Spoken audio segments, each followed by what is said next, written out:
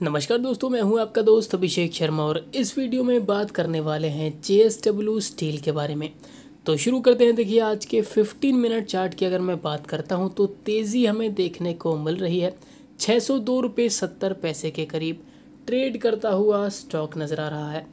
Three hour chart की बात करें तो यहाँ पर भी एक शानदार तेज़ी बरकरार है और यहाँ पर एक बाइंग का शानदार मौका भी भी बना हुआ है। तो अगर आप एक स्विंग ट्रेडर हैं या फिर एक लॉन्ग टर्म इन्वेस्टमेंट करते हैं।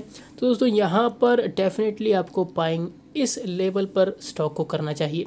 अगर आपके पोर्टफोलियो में पहले से ही जी स्टील शामिल है कंटिन्यू होल्ड करें, बिल्कुल भी सेल ना करें। अब बात करते हैं टारगेट्स एंड सपोर्ट्स की। देखिए, अगर यही तेज़ी बरकरार रहती है, आने वाले कुछ ट्रेडिंग सेशंस में टारगेट अचीव होंगे। 610 620 रुपए तक के टारगेट जल्द ही अचीव होते हुए नज़र आ सकते हैं। बात करें सपोर्ट की तो नीचे की तरफ़ देखिए, पाँच सौ अस्सी रुपये का एक सपोर्ट नीचे की तरफ़ ज़रूर लगाकर चल सकते हैं, क्योंकि गिरावट भी संभव है। तो गिरावट का ध्यान रखते हुए सपोर्ट को बिल्कुल लगा कर चलें एज अ स्टॉप लॉस भी इसको यूज़ करके चल सकते हैं। ये हो गए टारगेट्स एंड सपोर्ट्स बाइंग का मौका है।